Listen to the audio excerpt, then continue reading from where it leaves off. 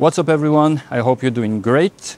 So, today I wanted to try something different, and that is to shoot um, and mimicking the style of the masters of uh, photography. So, uh, let's pick uh, one uh, for today, which uh, who is uh, Garry Winogrand, who has a distinct, who had, um, had or has, yeah, still, well, he's dead, but his pictures are still very much alive. So his style is uh, to shoot uh, so mainly black and white uh, and um, wide angle. So me, I have only my 40 mil today, uh, but uh, yeah, he was like more on the 28, sometimes 35 uh, full frame, and with a crooked horizon and. You can he, was shooting like really really fast and uh, i think uh, when he died he left like uh, 6000 uh, rolls of film undeveloped. And um, yes it's- a lot of his work he, he didn't have uh, the time to process the, uh, the film. He was just shooting shooting and spending all day um, shooting you know. I, I strongly advise you to watch videos on youtube about his um, how he was working and uh, his interviews. It's really interesting. And um, of course, we can compete with someone who uh, dedicated his life to uh, his uh, uh, craft, but uh, we can try to uh, um, understand his approach and try to adapt it to our own and maybe learn something from it. So let's try and do that, shall we?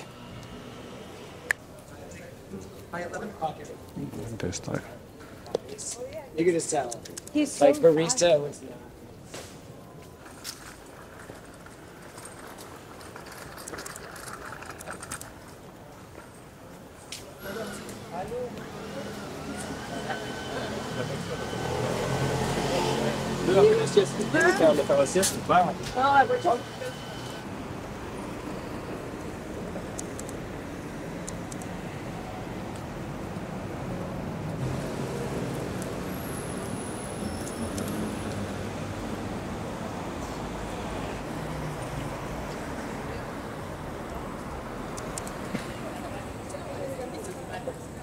Yes.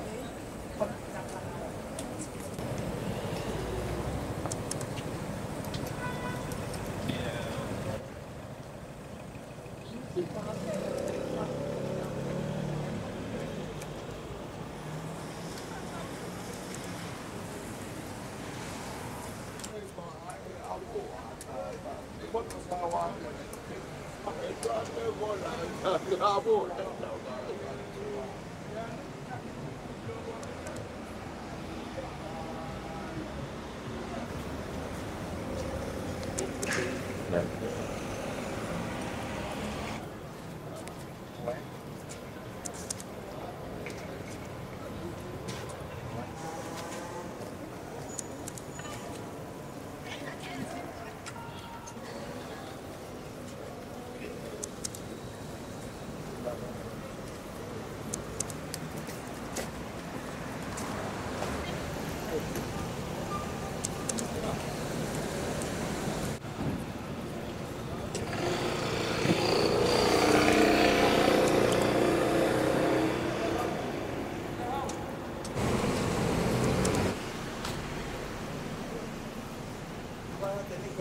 O me espera unos 10 minutos.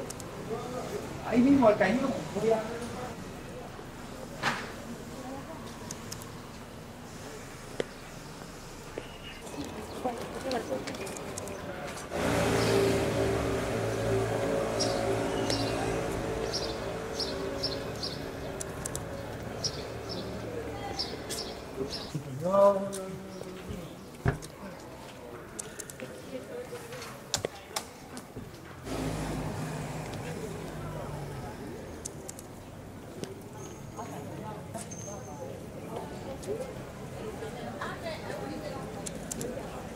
啊，那家。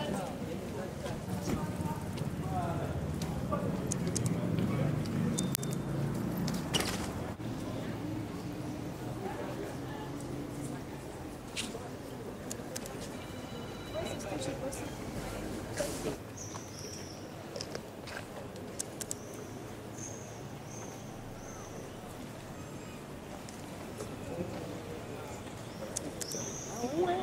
cung cầu luôn.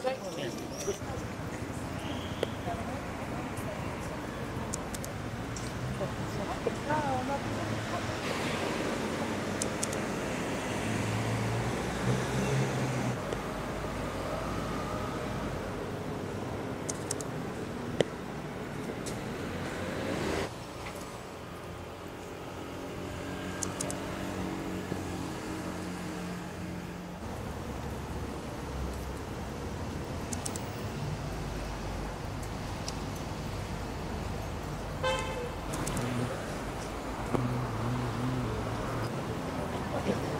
음.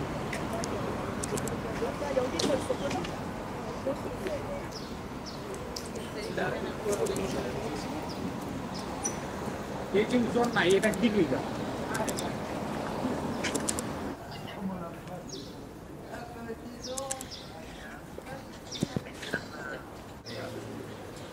더 맥히는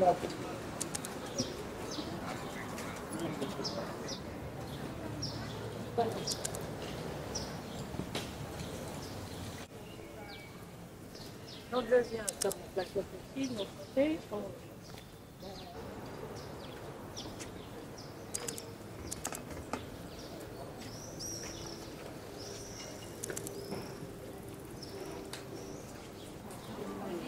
À la piscine.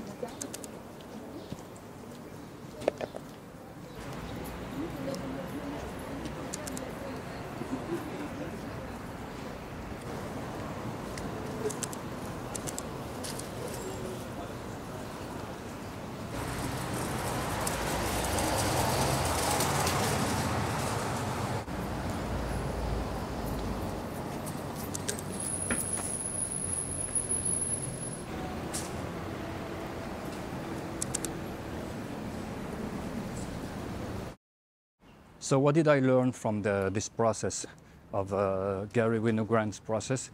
So the first thing, it made me, um, it forced me to shoot people uh, uh, from the front, and uh, I usually tend to shoot people from the back because I was more interested in uh, shapes, forms, colors, their clothes, and everything.